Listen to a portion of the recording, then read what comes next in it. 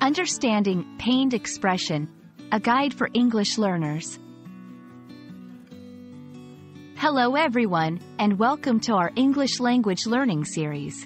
Today, we're going to dive into a very interesting phrase, pained expression. This phrase is not just about words, but also about how they reflect our emotions and body language.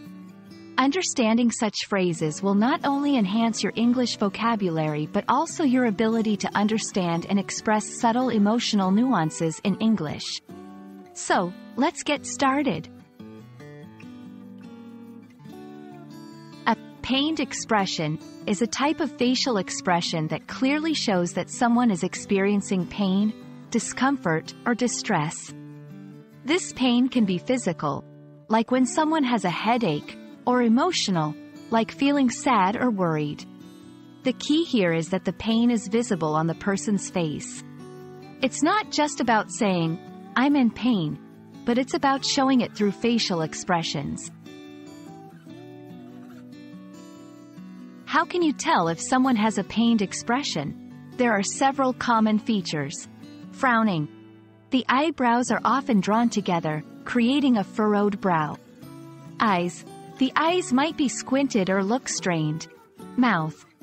The corners of the mouth might be turned down, or the lips pressed tightly together. Overall appearance. The face might look tense or strained, rather than relaxed. Let's look at how to use this phrase in different contexts. Describing someone's reaction. When he heard the news, his face turned into a pained expression.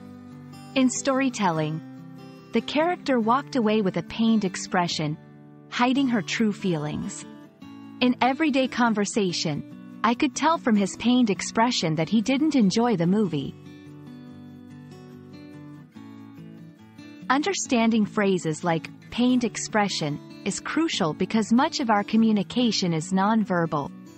By knowing what a pained expression looks like and how to describe it, you can better understand people's unspoken feelings and emotions.